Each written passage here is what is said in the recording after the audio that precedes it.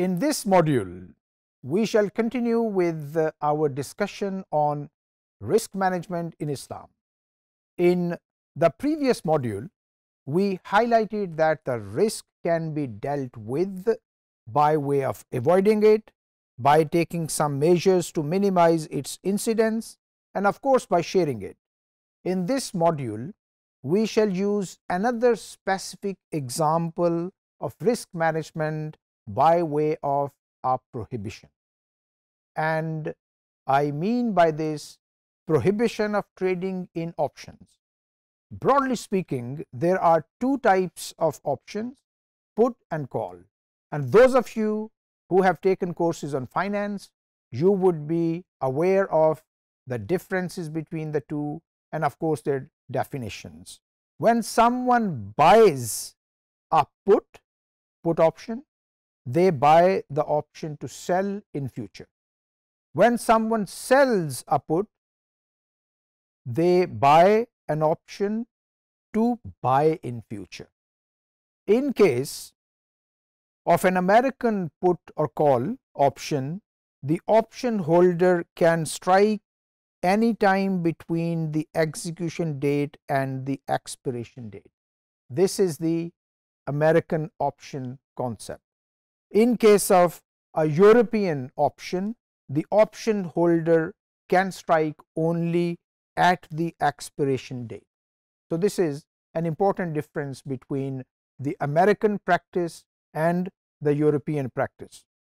The options are bought by way of paying a price. So, there is a price to buy an option. It is called premium, which is only a fraction of the actual price of the asset. Obviously, Islam prohibits trading in options because they are akin to gambling. Now, before I go to the next slide, I must explain why there is prohibition of buying options. There are certain things which do not have a value in the eyes of Islamic law. If this table has a value, of course, you can buy and sell it. Certain rights they cannot be bought and sold. Option is actually a right to buy or sell, nothing more than that. So, this right cannot be bought and sold on its own. Like हक शुफा। आपने सुना होगा आपने नहीं सुना तो अपने पेरेंट्स से पूछ लें।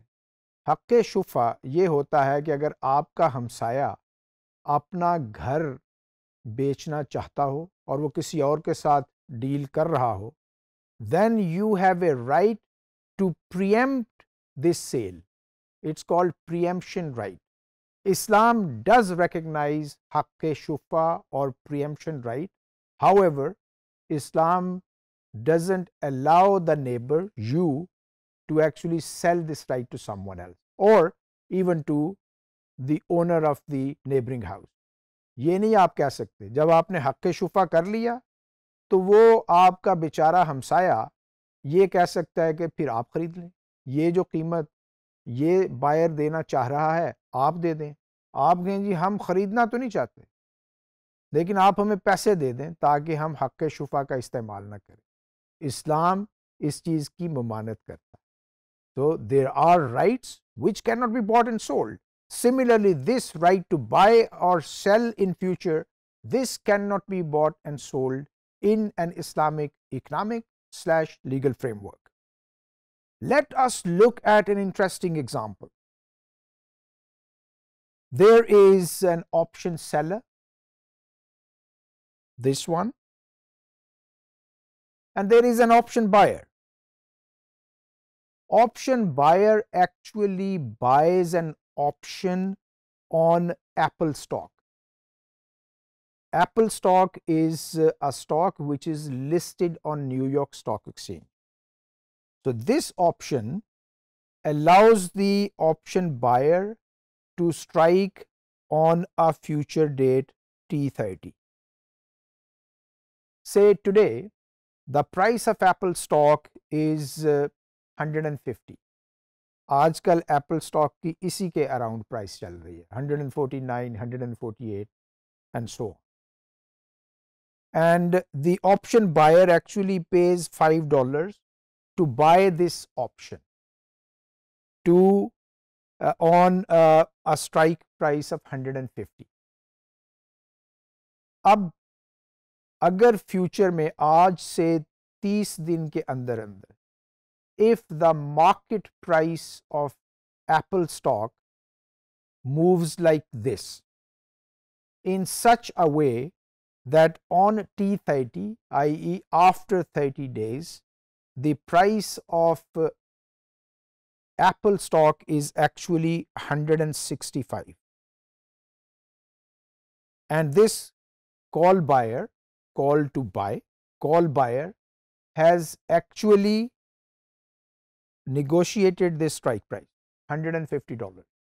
So, at T30 the market price of Apple stock is 165, but because this call buyer has bought or had bought the option for $5, it would strike and would buy the stock for $150. In this case, the difference between the market price and the strike price is 15 $15. So, $15 minus $5 of premium the call buyer would be benefiting by way of earning $10 from this option. If on the other hand side the Apple stock had moved this way in such a way that the price of Apple stock on T30 was $65. In that case, the difference between the strike price and the actual market price on T30 would be $85. Of course, the call buyer would not be interested in striking because striking would mean that the call buyer would be buying something for a lot more than what is the actual market worth of the stock at that point in time. So, in this case the call buyer would be losing $5. Sharia scholars they take a view that this is actually quite close to gambling. So, I pay $5 and a stochastic process, you know throwing a dice, this is a stochastic process. Tossing a coin, this is a stochastic process. The movement of prices in the stock market, this is a stochastic process.